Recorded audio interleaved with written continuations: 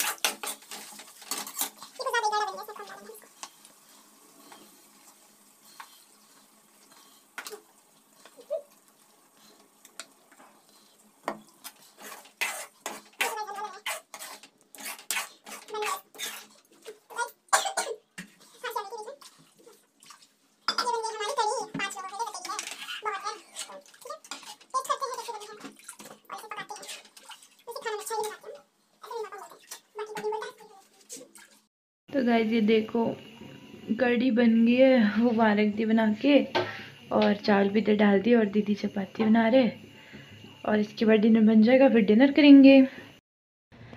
Hi good morning guys तो कल वाला ब्लॉग मैंने कंटिन्यू नहीं किया, क्योंकि कुछ खास था नहीं तो सब बोरिंग बोरिंग की हो जाता है, इसलिए मैंने कल वाला ब्लॉग कंटिन्यू किया। तो मैंने सोचा अभी कंटिन्यू कर लेती हूँ, और अभी मैं कंप्यूटर क्लास जा रही हूँ, और तो सोचा आप लोगों को भी बता दूँ, जा रही हूँ। तो चलो चलते हैं। इस क्लास से मैं आ गई हूँ। सोचा था आके लंच करूँगी, पर अभी मेरे को भूख नहीं है तो मैंने सोचा रहने तो नहीं करना है कोई लंच नहीं। धूप में बैठते हैं आपको बाहर दिखाती हूँ कितनी बस धूप लगी है।